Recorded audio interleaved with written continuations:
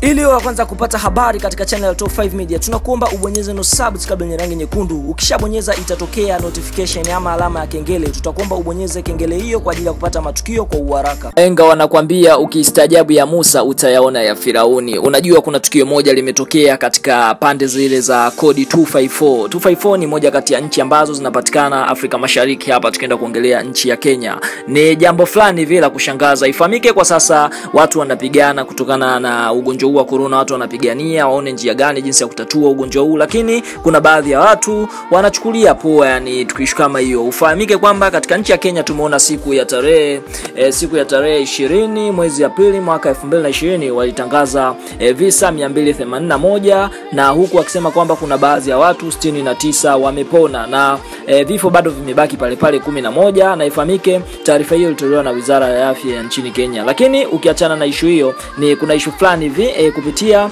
e, ukurasa wa e, Kenya kule kuna baadhi ya habari zimetapakata kwamba kuna madada poa 30 ambao wanafanya biashara za kuuza miili yao wamepelekwa karantini kwa lazima nchini Kenya kutokana na kukiuka maagizo ya kutokutembea usiku ili kujikinga na corona.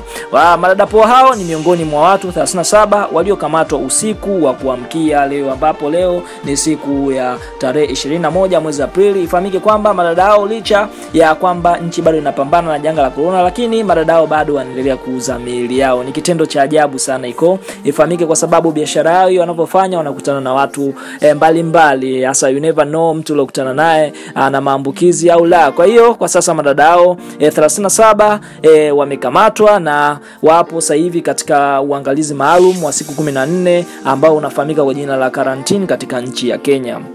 Kenya sasa imeanzisha utaratibu mpya ambao e, mtu yoyote yule uh, utaratibu huo ni mzuri, ulianzishwa na Kenya ambapo umeanzishwa ukisema kwamba e, utaratibu huo unasema kwamba e, mtu anayekutwa mtaani wakati wa usiku bila sababu za msingi anapelekwa moja kwa moja e, karantini, yani siku kumi na nne kwa sababu wanaona kama maambukizi yamezidi sana. Hivi ni visa mia mbili themanini na moja ambapo e, kati yao e, 69 wamepona. Kwa hiyo sasa hivi ukionekana unarandaranda katika nchi ya Kenya bila sababu za msingi basi unakamatwa moja kwa moja unapelekwa karantini. Ndipo madadapo wao e, salasini wamekamatwa nao pia wapo karantini kwa sasa na wapo chini ya uangalizi maalum. Sasa kutokana na kitendo hiki walichofanya wadada hao wa Kenya, tuambie unawashauri vipi? Unawashauri vipi? Tunajua utafutaji ni mgumu, kwa sababu maisha sasa hivi bila utafutaji huwezi kupata kitu chochote, lakini wao e, ndo kama hivyo wamekutwa katika nchi ya Kenya kwamba wanarandaranda usiku salasini. E, ni kitendo cha ajabu sana kufanya biashara kama hizo. Kwa hiyo wewe unawashauri vipi? Tudondoshe maoni yako hapo chini. Ukiachana na hilo, tuliona